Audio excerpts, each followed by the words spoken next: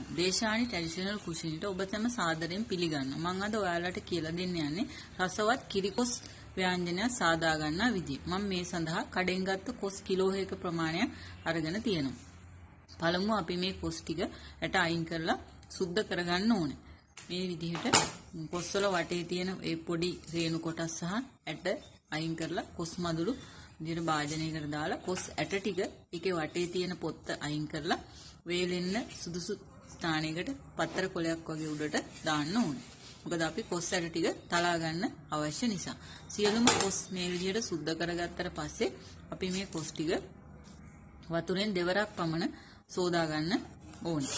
ඉන්න සෝදාගෙන ඊට පස්සේ අපි මේක කුඩා කැබලි වලට කපාගෙන භාජන දෙකකට දාගන්න ඕනේ. එකක් අපි කොස් පිළියෙල කරන භාජනේ අනික වෙනත් භාජනයකට දාගන්න ඕනේ. එහෙම කරන්නේ අර කොස් ඇට ටික අපි මැදට දාන්න අවශ්‍යයි. මොකද කොස් ඇට යටට දැම්මත් අල්ලනවා උඩට දැම්මොත් තැම්බෙන්නේ. එහෙනම් මැදට දාන්න ඕනේ. ඊට පස්සේ අපි මේ විදිහට කොස් ඇට ටික තලාගෙන පොතු අයින් කරලා කොස් ඇට ටික හොඳට සෝදාගෙන අපි කොස් අර පිළියෙල කරගන්නා භාජනයට කොස් ඇට ටික දාලා ඒකට ඉතුරු අපි වෙනම තියාගත්ත කොස් ටිකක් දාලා ඒකට ලුණු කුඩු තේ හැන්දක් ඒ වගේම කහ කුඩු තේ හැඳි භාගයක් වතුර අඩු කෝප්ප දෙකක් දාලා මේ විදිහට හොඳින් තම්බා ගන්න ඕන. කොස් තැම්බෙනකන් අපි අවශ්‍ය මිශ්‍රණය සාදා ගනිමු. මේ සඳහා සූදුරු තේ හැඳි භාගයක්, අබ තේ හැඳි භාගයක්, සුදු ලුණු ගෙඩි දෙකක් සහ අම්මිරිස් කරල් හතරක් සහ